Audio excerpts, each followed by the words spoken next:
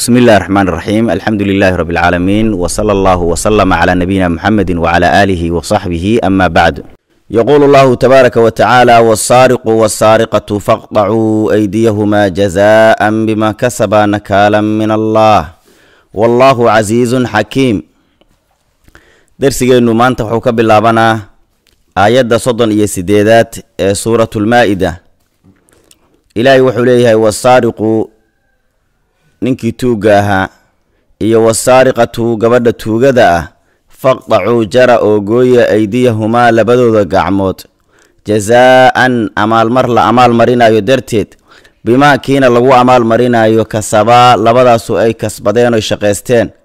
Nakaalan ciqaab darteed iyo reebid darteed laga reebayo wixii ay sameeyeen oo minallaahi alle xaggiisa ka ahaatay wallaahu ilaahayna casiizun waa alla adag oo xakiimun xikmad badan waxaan ku soo guda jirnay tafsiirkii suuraddii ahayd suuratulmaa-ida meeshaan ilahay wuxuu uga warramay subxaanahu wa tacaala qofka tuugga ah oo ama dumarka ah ama ragga ah oo waxada xadkiisu waxa uu yahay iyo ciqaabtiisa adduunya waxay tahay.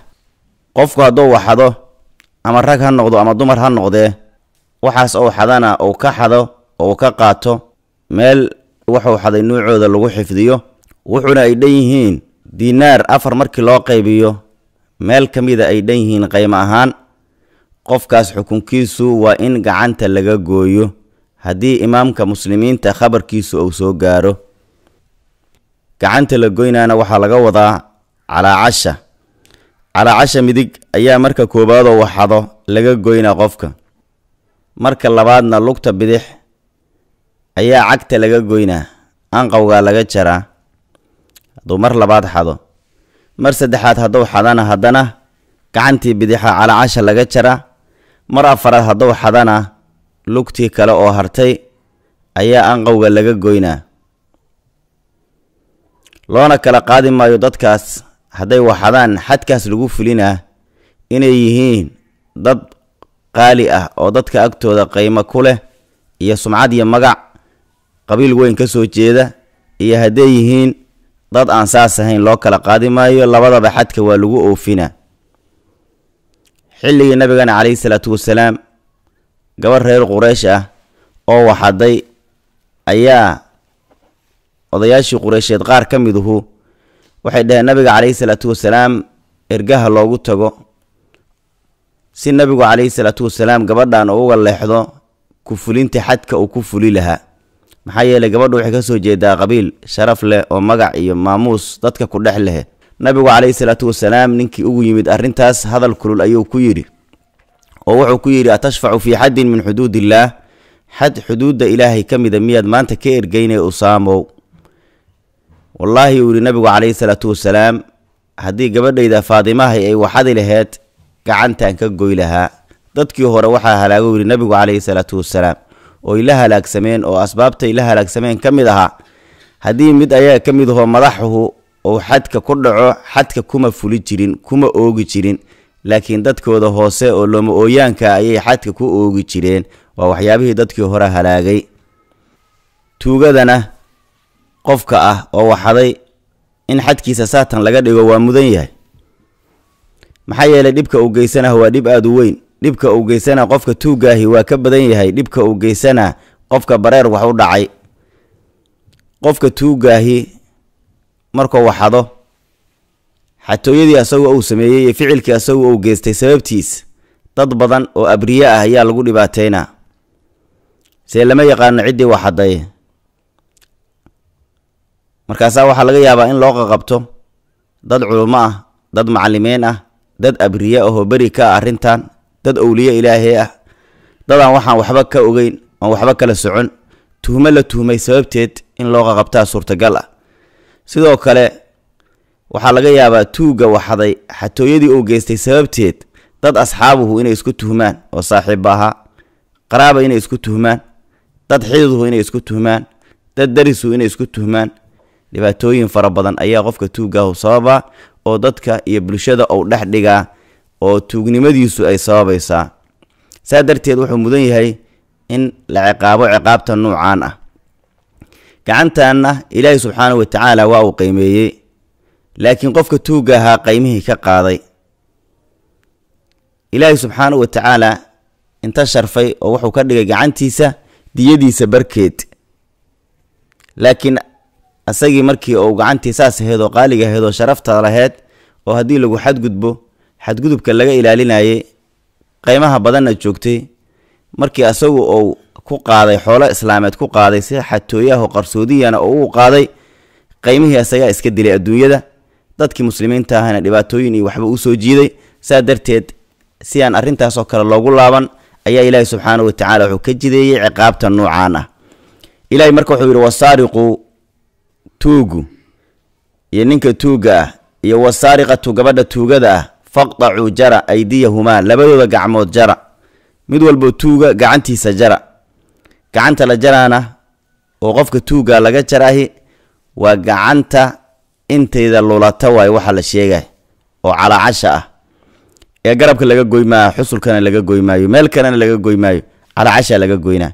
Jazaa-an amaalmar lagu amaal marinayo darteed u gooya gacantiisa tuugga iyo tuugada bimaa kiina lagu amaal marinayo kasaba ay kasbadeen oo shaqaysteen oo dembi ah.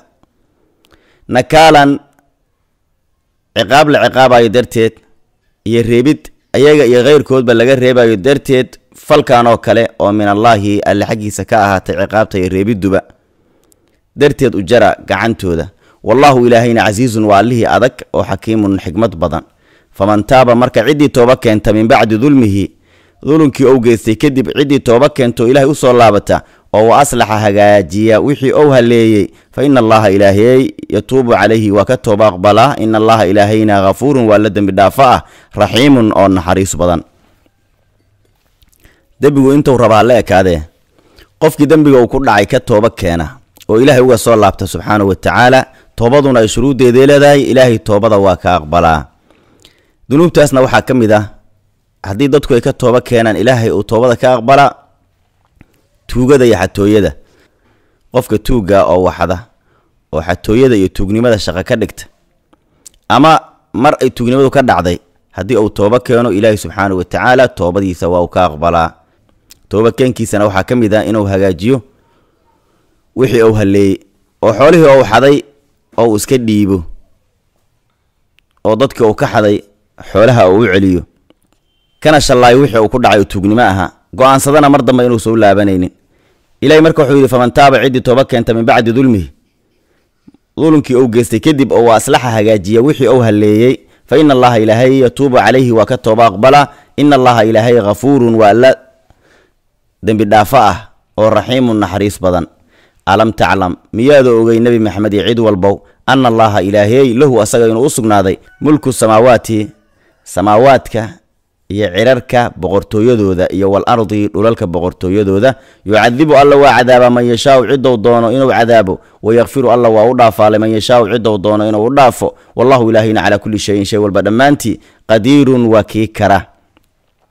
Waxaa laga yaabaa dadka qaar inay isdhahaan maxaa ilaahay subxaanahu wa tacaala oo uu leeyahay marna qofkan hala ciqaabo oo cadaabta noocaasa iyo ciqaabta noocaasa adduunyada hala ciqaabo aakhirana ciqaabta noocaasa uu leeyahay.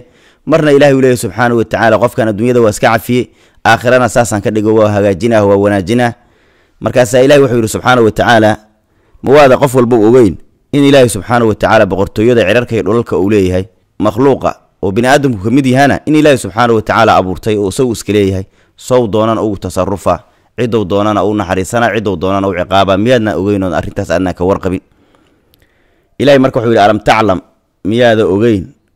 Qof walbow ana allaha ilaahey lahu asaga inuu u sugnaaday mulku samaawaati boqortooyada cirarka iyo wal ardi boqortooyada dhulalka oo dhulkana uu boqor ka yahay cirkana uu boqor ka yahay miyaadnaan ogeyn? Yucadibu alla waa cadaaba man yashaau cidow doono inuu cadaabo oo khalqigiisa iyo makhluuqiisa ka mid a. Ciqaabtaas iyo cadaabtaasna waa wax makhluuq ou mutee wax ilaahay subxaanahu watacaala uu makhluuqa ku gardaraysaa maaha wayakfiru alla waa u dhaafaa laman yashaau cidow doono dhaafitaankuna waa fadli ilaahi subxaanahu watacaala wallahu ilaahayna calaa kulli shayin shay walba dhammaantii korkiisa qadiirun waa kii karoo awooda yaa ayuha rasuulu rasuulkan muxamedahow laa yaxsunka aladiina kuwiisa ku muruggelinin yusaaricuuna u degdegayay fi lkufri kufriga dhexdiisa ku degdegayay oo min aladiina kuwii ka ahaaday qaaluu yidhi aamanaa warkaas walxaal lam tu'min aysan rumaynin quluubuhum quluubtoodu aysan rumaynin iyo wa min aladiina kuwii ka ahaaday haaduu yahuudiyoobay sammaacuuna waa kuwa dhegaysi badan labada qolaba lilkadibi beenta kuwa dhegaysi badan sammaacuuna waa kuwa dhegaysi badan oo akhbaarta qaadi og liqowmin duul iyo qolana u qaadi og akhbaarta duulkaasoo aakhariina kale oon ayaga ahayn duulkaasoo lam ya'tuuka aanba kuu imaanin adiga. Kuwaasoo yuxarifuuna alkelima kalaamkana beddelaya min bacdi mawaadicihi ay min bacdi kownihi mowduucan fii mawaadicihi markii la dhigay amaakintiisii kalaamka loogu talagalay kadib beddelaya yaquuluuna waxayna leeyihiin kuwaasi akhbaarta loo qaadaahi in uutiitum haddii laydin siiyo haadaa kan. Iyo waxaan aad beddesheen haddii laydin siiyo laydiin fatwoodo. Waxaan aad rabtiin oo qiilka ah fakhuduuhu qaata wa in lam tu'towhu haddaan qiilkaas laydin siinna faxdaruu ka digtoonaada inaad qaadataan wixii laydin siiyo oo laydiin fatwoodo. Waman yurid illaahu ciddii ilaahay ou doono fitnatahu imtixaankiisana falan tamlika lahu u hanamaysid. Min allaahi alle xaggiisa shay-an waxba u hanamaysid. Ulaa'ika kuwaasi aladiina waa kuwii lam yurid illaahu alla uusa doonin an yutahira quluubahum quluubtooda inuu nadiifiyo u tahiro ou xumaanta ka nadiifiyo. Lahum waxaa u sugnaaday kuwaas fidunyaa adduunyada dhexdeeda khisyun hoog iyo dulli. Walahum waxaana u sugnaaday fil aakhirati aakhira dhexdeeda cadaabun cadaab oo cadiimun weyn. Aayaddan ilahi wuxuu uga warramay subxaana wa tacaala xumaanta munaafiqiinta iyo yahuuddu ay leeyihiin. Magaalada madiine nabiga calayhi salaatu wasalaam waxaa la deganaa niman yahuud ah oo qabaa'il kala gedisan ka soo jeeda. Khaybara oo magaalada madiina ka baxsanna. Sidoo kale waxaa deganaa niman yahuud ah. Waxaa kaloo nabiga calayhi salaatu wasalaam magaalada madiine la joogay oo ku weheliyey niman carab ah oo laakiin munaafiqiin ah. Oo islaamnimada muujiyey islaamnimaduna aysan dhab iyo daacad ka ahayn. Munaafiqiintaas iyo yahuuddana gacan saaray lahaayeenoo habrawadaagay ahaayeenoo akhbaartay kala qaadan jireen oo waxay ku midaysnaayeen oo ka dhexeeyey colaadda nebi maxamed caleyhi salaatu wasalaam loo qabo iyo jacaylka la jecel yahay nebi maxamed inuu jabo caleyhi salaatu wasalaam iyo saxaabadiisu. Wixii marka nabiga caleyhi salaatu wasalaam agtiisa ka dhaca inta badan waxaa qaadi jiray munaafiqiinta waxayna u geey jireen yahuudda. Yahuudduna waxay ahaayeen niman kitaabkii ilaahi subxaanahu wa tacaala uu ku soo dejiyey nebi muuse oo towraad ahaa oo ay lahaayeen wa aan haysanaa bedelay oo ku ciyaaray waxyaabihii kitaabka ay ka bedeleenna waxaa ka mid ahaa oo aysan ku dhaqmi jirin xadka labada qofood oo kala sinaysata oo guurka xalaashaana soo maray xadka ay leeyihiin xadkaasoo ah in qofka saasa dhagax lagu dilo. Xadkaasoo kitaabkaas towraad ah iyo kitaabka qur'aanka iyo diintii nebi maxamed lagu soo dejiyey calayhi salaatu wasalaam ay ka midaysnaayeen waxaa dhacay marka xilligii nebigu calayhi salaatu wasalaam in laba yuhuuduhu oo dadka ay sharfaan ka mid a oo qaaliga agtooda ka uhu oo guur soo marayo ay kala sinaysteen kadibna ay uga laxa jecloodeen xadkii rajmiga ahaa oo in dhagax lagu dilo ah. Markaasay labadii qofood wixii ku saabsanaa xukunkooda iyo xadkooda ay nabiga calayhi salaatu wasalaam soo weydiiyeen oo yuhuuddii nabiga u dhoweed calayhi salaatu wasalaam waxay dhaheen khabarkooda iyo xadkooda iyo xukunkooda noo soo weydiiye. Ayagoo qiil goobad ah oo raba in nabigu calayhi salaatu wasalaam uu ku xakumo garaac inuu ku xakumo saasna rajmigii looga cafiyo. Kitaabkooda sida ku taalla ayaana diinta ilaahi subxaanahu wa oo nebi maxamed lagu soo dejiyey ay sheegay oo ah dadka noocaas oo in lagu dilo dhagax lagu dilo. Nabiga marka calayhi salaatu wasalaam sharciga ilaahay ayuu ku xakumay oo wuxuu ku xakumay rajmigii waana la rajmiyey. Riwaayadaha qaarna waxay sheegayaan in nabigu arkay calayhi salaatu wasalaam. Laba qofood ay wareejinayaan magaalada dhexdeeda oo ay wejigana ka madoobeeyeen oo dhuxul uga madoobeeyeen. Markaasaa nabigu weydiiyey calayhi salaatu wasalaam wuxuu yidhi labadan qofood waa maxay? Xaalkoodu waa maxay? Markaasay dhaheen labadan qofood xaalkoodu waa kala sinaysteen. Guurna waa soo mareen. Nabigu marka wuxuu ku yidhi calayhi salaatu wasalaam labadii qofood oo noocaas ah in xadkoodu saas yahay miyaa kitaabkiinu dhiga oo dadka la ceebeeyo keliya oo carrada inta dameera la saaro carrada la marsiiyo iyadoo wejiga laga madoobeeyo dhuxul iyo wax laga mariyey. Markaasay dheheen haa kitaabkeennu saasuu dhigaa. Nabigu calayhi salaatu wasalaam wuxuu u yeeray nin culimmadoodii ka mid ahaa markaasuu yidhi ilaahan kugu dhaarshee saas miyaa kitaabkiina ku taalla maye wuxuu yidhi haddaad ilaahay ugu dhaariday kitaabkeenna waxaa ku yaalla dadka nuucan oo kale xadkoodu inuu yahay rajmi inuu yahay iyo in dhagax lagu dilo kadibna nabigu calayhi salaatu wasalaam xadkii waa ku fuliyey meeshan ilahay marka wuxuu uga warramay xumaanta nimankaas yahuudda ah iyo nimanka ay bahwadaagta yihiin oo munaafiqiinta ah xumaanta ay leeyihiin. Ilahay marka wuxuu yidhi yaa ayuha rasuulu rasuulkan muxamedahow laa yaxsunka yousa ku murug gelinin ousa ku tiiraanyo gelinin alladiina kuwiyaysa ku murug yusaaricuuna u degdegayay filkufri kufriga dhexdiisa u sii degdegayo oo kufriga u sii ordaayay oo min aladiina kuwii ka ahaaday qaaluu yidhi aamanaa waa rumaynay. Biafwaahihim afafkoodana ka yidhi waa rumaynay. Walxaal lam tu'min aysan rumaynin. Quluubuhum quluubtoodu waa munaafiqiintii. Iyo wa min aladiina kuwii ka ahaaday haaduu yahuudiyoobay labaduba kufrigay ku sii dhex ordaayaan. Samaacuuna waa kuwa dhegaysi badan. Yahuuddu iyo munaafiqiintuba lilkadibi beenta ayay dhegayso og yihiinoo? Beentay u dhega nugul yihiin beenta waa maqli og yihiin. Xaqa dhegaysigiisana waa ka dhegala yihiin. Waxaa kaloo la dhihi karaa samaacuuna waa kuwo u dhegaysi badan oo hadalkaada u dheg raaricin badan. Sababtu waa maxay hadalka nabiga ay u dhegayso ogyihiin calayhi salaatu wasalaam? Lilkadibi ay liajli lkadibi calayka. Si ay adiga kugu been abuurteen darteed ayay khabarkaada iyo waxa adigu aad sheegay ay dhegaysanayaan samaacuuna waa kuwo dhegaysi badan oo u dheg raaricin badan hadalkaada si u qaadaan hadalkoo liqowmin qoomna ugu qaadaan. Qoomkaasoo aakhariina qoomkaasoo aakhariina kale oon ayaga ahayn. Qoomkaasoo lam ya'tuuka aan kuu imaanin waa yuhuudda odayaashoodii. Qoomkaasoo yuxarifuuna bedelaya alkalima hadalka bedela. Min bacdi mawaadicihi markii ilaahay subxaanahu watacaala amaakintii ugu talagalay in hadalka la dhigo la dhigay kadib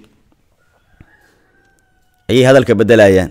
Bedelidda hadalkana yahuuddu waxay ku ahayeen aayad oo ama aayadda macnaheeda la bedelo ama la bedelo aayaddu meeshii ku tiilay laga qaaday meel kaleba la geeyo ama aayaddaba laga xooro kitaabka ilaahay. Yaquuluuna waxayna leeyihiin kuwaas yahuudda ahi oo odayaasha yahuudeed ah oo ama khaybaro degan ama magaalada madiine degan oo munaafiqiintan ay u shaqaynayaan yahuuddan kale in uutiitum haddii laydin siiyo. Haadaa kan xukunkan aad bedesheen oo ah inaad laba qofood oo kale sinaysatay guurna soo martay aad xadkooda ka dhigtaan in la garaaco keliya haddii xukunka noocaasa iyo xadka noocaasa maxamed idiin fatwoodo fa khuduuhu qaata fatwadaas. Wa in lam tu'towhu haddii aan laydin siinin oo aan laydiin fatwoonin fatwada noocaasana faxdaruu ka digtoonaada inaad fatwadiisa qaadataan. Waman yurid illaahu ilahi wuxuu yidhi ciddii ou alla doono fitnatahu fitnadiisa iyo lumintiisa falan tamlika ma hananaysid lahu kaas u hanamaysid nebi maxamed iyo cid walbow min allaahi alle xaggiisa xaalow ka ahday shay-an waxba ulaa'ika kuwaasina munaafiqiinta ah ama yuhuudda ah alladiina waa kuwii lam yurid illaahu alla uusa doonin an yudahira inuu dahiro oo uu nadiifiyo. Quluubahum quluubtoodoo kufriga iyo nifaaqa uu ka nadiifiyo ilaahay ma doonin lahum waxaa u sugnaaday kuwaas fi dunyaa dunyada dhexdeeda khisyun dulli. Hadday munaafiqiin yihiin cabsasho ay cabsanayaan iyo dhibaato ay kala kulmayeen dadka muslimiinta ah ayaa u sugnaaday adduunyada iyo ceebahooda mar walboo la faagfaagayo oo wax laga sheegayo hadday yahuud yihiinna layn la laayo cayro la cayriyo jisye laga qaado ayaa yahuuddana u sugnaatay. Adduunyada waa walahum waxaa u sugnaatay labadaba fil aakhirati aakhira dhexdeeda cadaabun cadaab ayaa u sugnaaday oo cadiimun weyn